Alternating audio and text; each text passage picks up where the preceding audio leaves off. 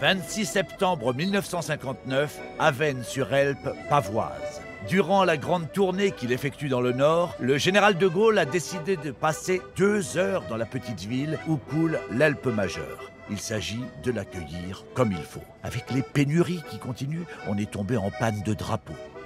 Heureusement, le papier crépon aux trois couleurs ne coûte pas trop cher et les enfants des écoles ont confectionné toutes sortes de fanions. D'ailleurs, pas d'école aujourd'hui. Le moment est historique et tout un chacun est dans la rue pour voir le grand homme ou, tenter de le voir. Tout un chacun, enfin, presque. Il y a toujours des sauvageons qui refusent de comprendre le sens de l'histoire, qui trouvent une carrière abandonnée comme celle-ci pour s'amuser.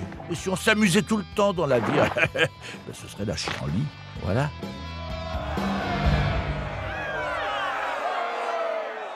Ce jour-là, le général a dit Merci, merci pour le passé, pour le présent et d'avance, merci pour l'avenir.